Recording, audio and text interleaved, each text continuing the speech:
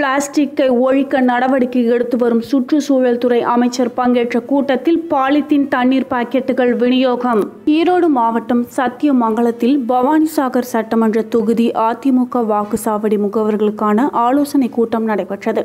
இக்கூட்டத்தில் தமிழக சுற்றுச்சூழல் துறை அமைச்சர் கருப்பண்ணன் கலந்து கொண்டு பேசினார். இக்கூட்டத்தில் திரளான அதிமுகவினர் கலந்து கொண்டனர்.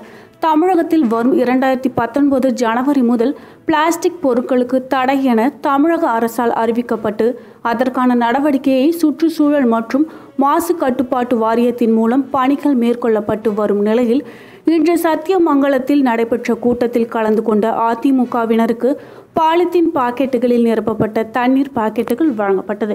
இந்த பாக்கெட்டுகளை வாங்கிய அதிமுகவினர் வாயில் கடித்தபடி தண்ணீர் குடித்தனர்.